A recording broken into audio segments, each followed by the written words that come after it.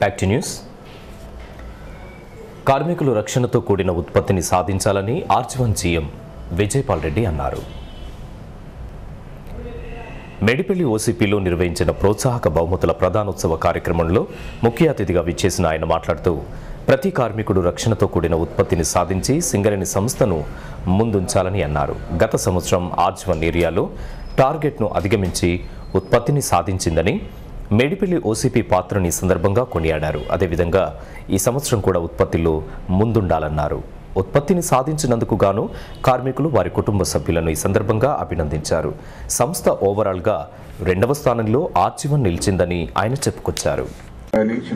చుట్టూ ఉత్పత్తి కానీ మన ఏరియాలో ఉత్పత్తి సాధించినందుకు మరియు రవాణా ఎక్కువగా చేసినందుకు మీకు అందరికీ మరొకసారి నా తరఫున అభినందనలు తెలియజేస్తున్నాను.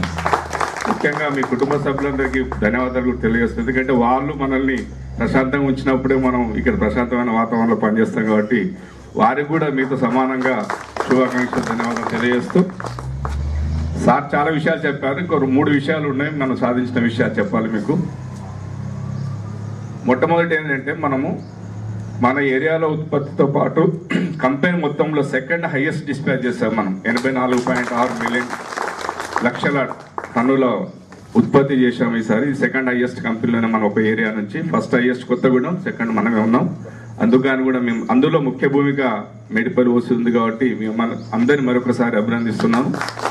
ఇంకొక ముఖ్య విషయం ఏమిటంటే మనం ఈ సంవత్సరం ముప్పై ఏడు లక్షల టన్నుల బొగ్గు రవాణా ఎక్కువ చేయడం జరిగింది. పోయిన సంవత్సరానికి పోల్చుకుంటే పదహారు పదిహేడు పోల్చుకుంటే అందులో ఇరవై ఐదు శాతం మనమే ఉన్నాం.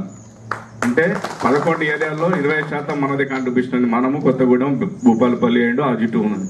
సో నాలుగు ఏరియాలే తొమ్మిది తొమ్మిది లక్షలు ఎక్కువ మన రవాణా చేసి అందుకు కూడా మనం ముఖ్యమైన మన పాత్ర పోషించాం. అందుకు కూడా మిమ్మల్ని అందరినీ కూడా అభినందిస్తూ సార్ చెప్పారు అత్యధికమైన ప్రాఫిట్స్ అనేది ఒక ఓపెన్ కాస్ట్ నుంచి ఈ సంవత్సరం అంటే పదిహేడు పద్దెనిమిది సంవత్సరం కానీ ఇప్పుడు టెంటేటివ్ కాదు ఇంకా మనకు ట్యాక్స్ సిక్స్ సెవెన్ అయిపోయిన తర్వాత మనకు కరెక్ట్ రిజల్ట్స్ వస్తాయి.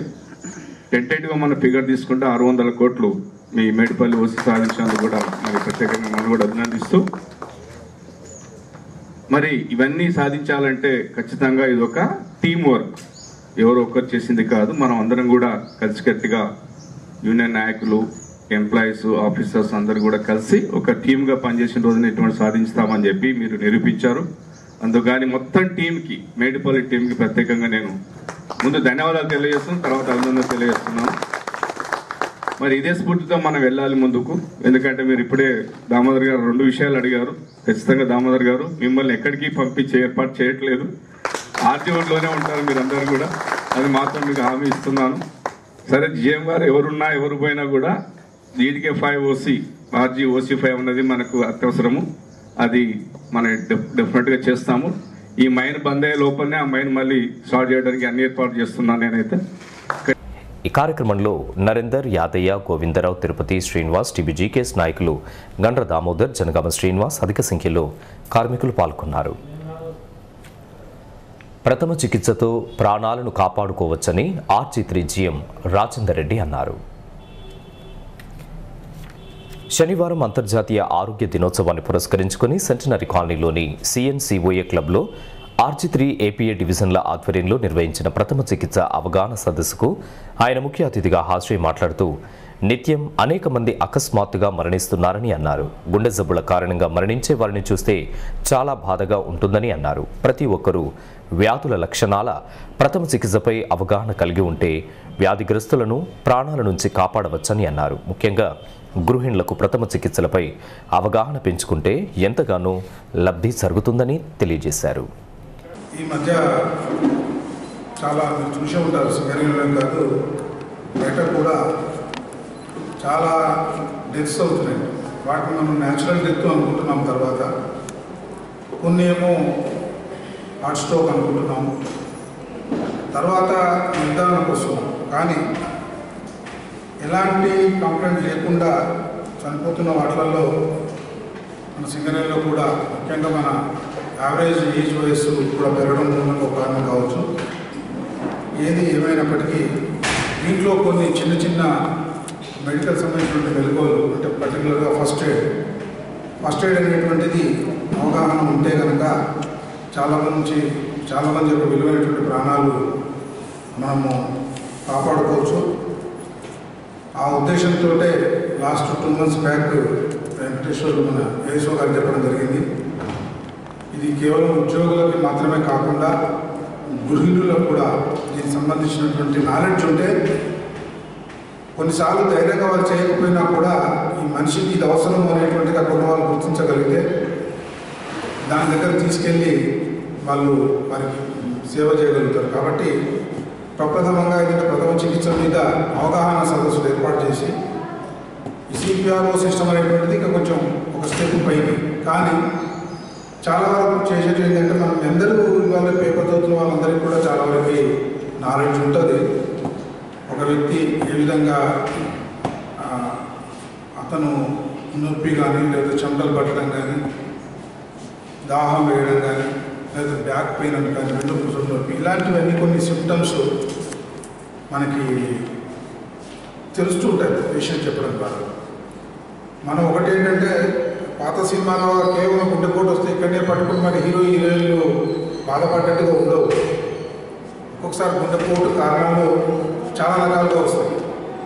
చేయి గుంజడం వస్తుంది వీపులు నడుము పట్టేయడం వస్తుంది. రకరకాల సిమ్టమ్స్ ఏదో ఒక రూపకంగా బయటకు వస్తుంది కాబట్టి ఏదొచ్చినా కూడా మనం దాన్ని ఇది కాదు అనేటువంటి అజాగ్రత్త పడకుండా ఇమ్మీడియట్గా కనుక డాక్టర్ గారి దగ్గరికి వెళ్ళడము ఇవి చేయించుకోవడం ద్వారా మనము మన లైఫ్ని సేవ్ చేసుకోగలుగుతాం. తర్వాత కొన్ని మనకు తెలుస్తుంటాయి పేషెంట్ యొక్క బిహేవియర్. ముఖ్యంగా ఏం చేస్తాము? చెమటలు వస్తున్నాయి అతను ఏం మాట్లాడడం లేదు పడిపోతున్నాడు అని అనుకున్నప్పుడు ప్రప్రథమంగా మీ అందరికీ తెలుసు ఫస్ట్ వెంటిలేషన్ ఉండాలి. చుట్టుపక్కల మంది అంతా గుమ్మి కూడకుండా అతనికి వెంటిలేషన్ ఇవ్వడం అతనికి మంచి సుపైన కండిషన్లో పడుకోబెట్టడం. తను కంఫర్టబుల్గా ఉండేట్టుగా మనిషిని ఇచ్చాడు.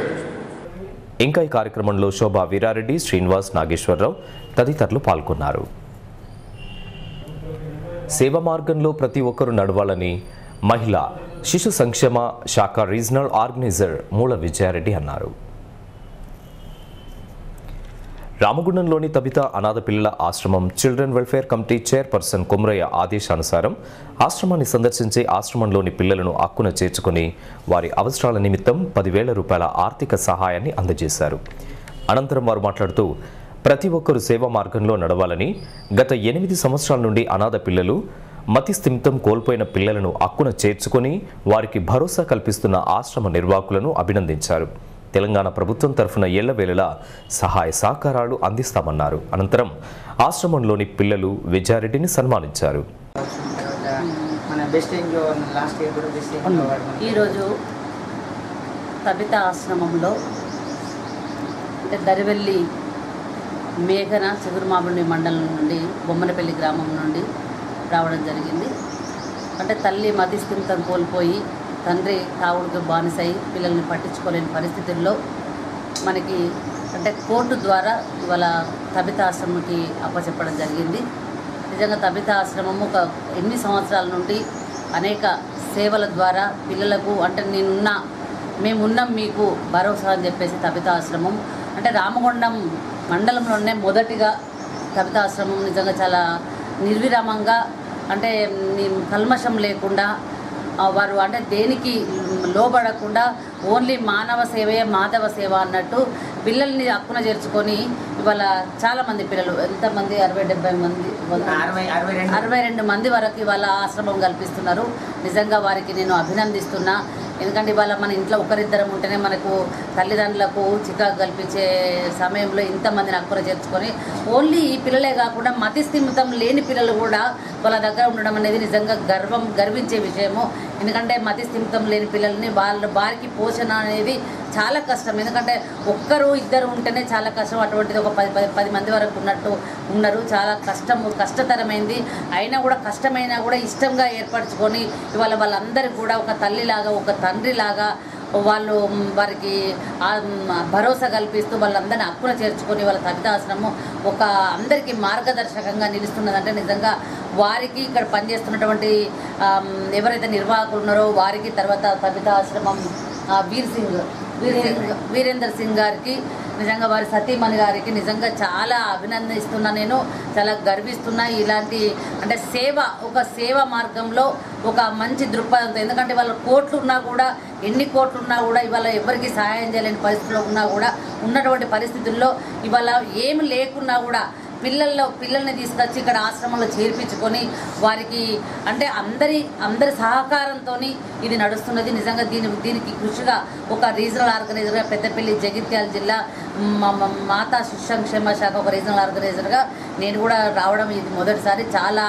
అభినందిస్తున్నా సంతోషిస్తున్నా. నా వంతు కూడా ఒక పదివేల రూపాయలు నేను వీరికి అంటే ఈ ఆశ్రమానికి నిర్వాహకం అంటే వీళ్ళందరికీ సేవలు అందించడానికి వీరందరిని చూసుకోవడానికి నా వంతు కూడా ఒక పదివేల రూపాయలు నేను వీరికి ఇవ్వడం జరుగుతుంది.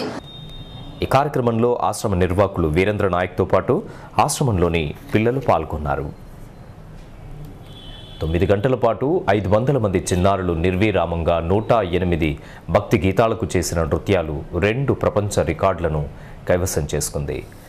ఆంధ్రప్రదేశ్ రాష్ట్రంలోని పశ్చిమ గోదావరి జిల్లా జంగారెడ్డిగూడెంలో కూచిపూడి నాట్య అకాడమీ ఆధ్వర్యంలో జరిగిన ఈ కార్యక్రమం నిర్వహించగా genius book of record India chief coordinator lion B. Narender Goud wonder book of record Telangana chief coordinator Rangajyothi పర్యవేక్షణలో నృత్య ప్రదర్శన జరిగింది. ఈ వార్తలు ఇంతటితో సమాప్తం. తిరిగి మరిన్ని విశేషాలతో మళ్ళీ కలుసుకుందాం. అంతవరకు సెలవు. నమస్కారం.